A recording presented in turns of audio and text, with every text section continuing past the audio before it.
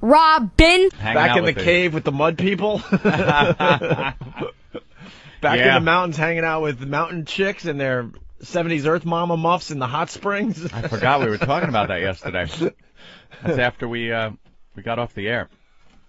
We were yapping about that things we were doing when we were uh, off, and what the hell was that? It was uh, I was bringing up a trip to Colorado, and we went to this mud cave. God, we completely ran out of Oh, things I to know do, why. didn't we? Because uh, I think uh, Jim was talking about how uh, he was going to try that yoga. oh, you're gonna Bikram try- yoga, yes. Really? Yes. Now, where did you hear about this? My friend Sue told me. Ooh. I've heard it before. It's just that I want to do yoga because it's good for you. And Opie said that Elo has done this. Yeah, Elo told me uh, in my neighborhood they had this yoga class where they keep the room at I don't know some ridiculous temperature like 120 degrees. I mean, just outrageously hot. And the women uh, do their yoga with barely any clothes on because it's so hot. And he goes, "Look, man, I didn't go for the freaking yoga. I went to check out the you know the, the pieces of asses all around me." Obviously, he he didn't go for the yoga. Yeah, what do you think they're thinking looking at him? no doubt. Oh, that guy over there with the misshapen head, just passing out after three minutes. So he told me I should check out this yoga place in my uh, my hood. And then Your hood. And then Jimmy, after the show yesterday, was talking about how he he was going to go try it as well. Yeah. At another location, I don't know, whatever. I need to have you somewhere. Yeah. So then, uh, If you ever call the Upper West Side of Manhattan the Hood again, Yeah. Jesus Christ. Yeah, the Hood. so uh, we're talking about the the hot yoga and stuff, and then I, it reminded me of of just uh, I don't know how we I I took this leap, but. I was in uh, Seattle and I was in a, a rainforest with uh, our old pal John O'Brien. At least there's no people there, right? And there were a couple girls involved, Anthony, because I'm not going down the Java Log Road again. And we're walking up into this area where there's uh, natural springs, hot springs, Mm-hmm. and where basically uh, the water is just, I mean, just boiling hot coming up from, uh, you know, up from the ground. Big forest with petrified Java logs all over the place. And someone could probably explain why this is. I don't really care, but basically what the locals do is they they build these uh, natural pools with rocks and mud. So then the water collects in these pools, and then the um and then the people you know pretty much uh, lay around in these things naked. People see it as some type of healing thing, some type of th- thing that's beneficial to health because it's right out of the earth, and especially Seattle, you're just going to get a bunch of these hippie type mentality people that just think that bathing in this bubbling water from from deep within the earth is is going to help you out in some Well, way. it was kind of cool because there was a lot of mountain girls with 70s Earth Mom Oh, oh. completely nude. Great. So John and I look at each other like, what the hell? Let's give it a shot. I I, I didn't get. I wasn't brave enough to go nude. I I kept my little uh my little uh my little uh underpants on. Underpants. You went in on your in your underpants. underpants, which made me look faggier because everyone else was naked. But I'm like, you know what? Nah, I'm just not feeling it. So wow. Uh, but you yeah. are really insecure about your schlong. not really. well, you, you're not willing to, you know, expose it anytime. Anytime the the opportunity has come up to expose it, you always uh, back out. I don't know because uh, I think I think when you know, like John O'Brien's girlfriend was there. Oh, a little and weird. My girlfriend at the time, which which is Yeah, it is weird. which is fine, but I think I think it's easier to get naked in front of people you don't really know, Strangers that you'll never see and again. maybe your girlfriend, but you know if you're with your friends and their girls are there, and Mm-hmm. you, you already know the dude, which makes it weird, and then his girlfriend's there. I uh, yeah, and that you're image right. will never go away. You're right. I that's the reason. Yeah. That's definitely the reason. No, you should have talked to her and kept leaning in so your helmet was uncomfortably close to her hand, like whispering to her. kind of brushing against her hand. did uh did your friend's uh, girlfriend get naked? John O'Brien? No, they didn't want to go in. No? which made it you know a little strange too. So they're kind of they're kind of hanging outside the pool, just sitting on a rock as we're like frolicking with the mountain women, Yeah. checking them out and starting conversations with them and making them laugh. So their big mountain jugs go up and down a Mountain little bit. jugs. were they were they like really hippies though? Were they Oh yeah, just, man. like they had- talking about no, nothing? dude. No joke. Seventies Earth Mama muffs, like, Ugh. and this was only like a year, two years ago, whatever it was. Wow. You know, and uh, yeah, hairy armpits, all that fun stuff. So And it, w- was it warm out or was it kind of cold out? And you get It was, because a lot of uh, people like doing that when it's really cold out. no, it wasn't cold. It was it was like a spring day. Yeah, You know, it was probably 70. that's not bad then. It was cool though, and and, and the whole like this whole mountainside is just a, a ton of them, Mm. and people spend all day just going to different ones, socializing, checking it out. Some are like some are like really small pools where like little you know uh, couples go and really get Have it on. sex? Yeah, because they're kind of hidden in in like the the woods and stuff. And then there's uh. Looks uh, like egg drop soup. and then there's much larger ones that bubbling away. are as big as this room at least, at least. Yeah. And the water's, you know, anywhere. Some of them are only a few inches, you know, high, and others are a couple feet high with the Hmm. hot water coming through. It's pretty neat. So then I, I mentioned that, and then you were talking about like mud people or something Oh. in a cave in Arizona. No, it's Colorado. Oh, Colorado. Okay. Yeah, I went to Colorado and there, uh, there was this. It's it's like a cave.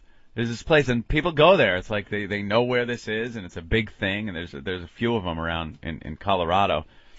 It's a big cave, uh, with hot springs coming up from the floor in some parts, like really hot, bubbling, boiling water, and it just makes steam in this place. So it is sweltering. It's just stifling heat and steam. And people go in there. You know, you get to go into a locker room and you change into like this robe thing. But you, And- it's an actual locker room. Yeah, yeah, outside the cave. You walk into this place, it's like a storefront on the side of a mountain. And you walk in, you, they also do, you know, nails and other things, facials, I guess. And uh, you walk down, you go to the locker room. They have a solarium. If you want to lay down in a room with plants and stuff, real hippie crap.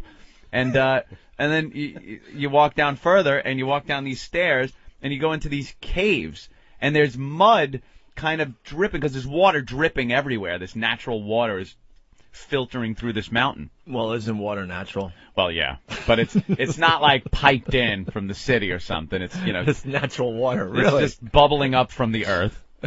Very natural. and, and, and when it comes through the cracks in this mountain, uh, mud comes out. All kinds of this sulfur and and just all kinds of minerals. Oh yes, I forgot to mention that really fast. Yeah, the, the, the I'm sorry. Then when you said sulfur, just Yeah. with my story, the the smell of sulfur was Yeah. Absolutely horrific. Really bad. really bad. So, so w- what comes oozing out of these cave walls is this mud that's full of all these different minerals and stuff. So people grab handfuls of this mud and rub it all over themselves and kind of sit there in this sweltering heat. And I'm like, all right, you know, I'll try it. What the hell? Go in there and a- Keep your underpants on. Yeah, yeah. I, I I had some kind of shorts on. I can't remember if they like supplied some kind of ridiculous paper shorts. or- No, you got to go with swim trunks or a bathing suit or something. I guess some people go naked, but it's some because it's dark in there, and, and there's all these little corners, nooks, and crannies that you're walking around, and it's kind of dark. Can't find your way around. You walk in there, and I guess somebody could be naked, just sitting there covered in mud. And uh, I, after like five minutes, I couldn't take it. First of all, the heat was just ridiculous, and then the smell in this place.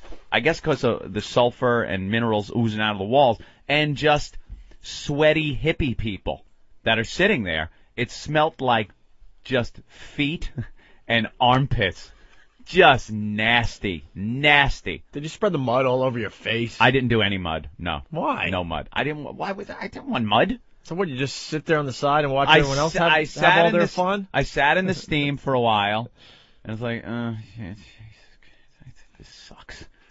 This is- and I'm just miserable the whole time. Like this stinks. And I just, I was like, I'm, I'm leaving. Yeah, we were there with like my girlfriend and uh, her family and stuff. So I was like, I gotta go. I'm out. So I left, walked out. Just hippies. It's it's a hippie thing, and I'm the furthest thing from a goddamn hippie. And what's the mud supposed to do? It's some, supposed to have uh, again that whole natural healing thing. Oh, there are claims. You know, you walk in and there's uh, pamphlets and you read it, and this place has been been open since like the 1800s. People would go there to rub this mud on themselves, and uh, it's supposed to heal and make you feel better and clean out your colon. I don't know. Yeah. Yeah, I was in Sedona, Arizona in April. Sedona, Arizona. Is it in Arizona? Yeah, Oh, that's you scared me. All right, Sedona, Arizona, and uh, they have like healing things there. What is it called again? The uh, Holistic. the uh, vortexes, Oh, the vortex. I saw a show on that. It was hysterical. the vortex, and you're supposed to like I don't know, like climb up some of these cliffs and And stand where the vortex is. yeah, and supposedly And then some vortex like professional will tell you where to move and go and Uh, take and- your money. and what is that supposed to do? I don't know, supposed to put you in the place where the earth, uh, some magnetic property of the earth is supposed to help you out. You got to stand in an exact spot. Dude, the only whole these pros town know. is all about the vortex. yeah, the vortex. Sedona is one of the most beautiful places you could go in all of America with the red rocks and stuff. But Yeah. but they're all uh, advertising the vortex. Yeah, and these professionals, these vortex pros, know where all these vortexes are. So you pay them good money, and they tell you where to stand and run around in circles, and it's really odd. I saw a show on it, and they just all look like lunatics. I think it was on that Penn and Teller uh, bullshit show. The best is the Showtime. locals. I go, all right, come on, man, tell me the truth. What's up with the vortex? It's like, don't waste your money. Of course not. All, all us uh, locals know it's a joke, but uh, you know, it brings a lot of tourists. Oh, they, must laugh. laugh at the people up on these plateaus and. And they're jumping and running around and doing things on the vortex. What they should do is walk you up to the, the end of the cliff and then take your money and put their foot in your spine and watch you plunge to your stupid death. and then all you hear as you're dying is them laughing and waving your cash at them. Someone- Maybe I made up. And Freak Show wants to know uh, what does it cost for a, the mud cave? wow. Was it expensive? No, not really, because you know these hippies don't have much money. I think they make it up in volume, cause, and it's it's in the same area that these big hot springs are in, and they've made pools like huge community-sized swimming pools out of these hot springs. Yeah, They're that- fed with the hot springs. Yeah, that's exactly what uh, I saw. But I up there mean in built-in built-in pools that they make that are the size of Olympic-sized, you know, swimming pools that are filled on a daily basis with this uh, water, this this hot spring water, and it's supposed to be, you know, it's supposed to help you. And I looked at the pool and it's brown, it's because the- it's water coming from the ground, so it's brown and it stinks like sulfur. No, I'll go to a nice hotel. They have heated swimming pools, and I will swim in there. I want to smell chlorine when I swim, not sulfur and hippie feet. Hey, hippie. Oh, those goddamn Them hippies. Goddamn hippie. Uh, Norton, Mud. you've never done anything like that? No. Oh, come on, man. I'm, I'm a hotel guy. The same. I don't like any outdoor crap ever. That's me. I don't like it, and somehow I always get pushed into these things. You remember the famous hiking trip Uh, upstate New York yeah. in the Catskills? oh, didn't you get lost or something? Yep. Thank you. Thank you. Me and my girlfriend uh, go hiking On a little now- on on a little day hike, right? on a day hike to go up to the top of this mountain and then back down the mountain. We hike all the way up. It just takes hours to hike up this, and it's you know it's up. It's uphill the whole way. I'm just looking forward to down because at least your pal gravity can work with you.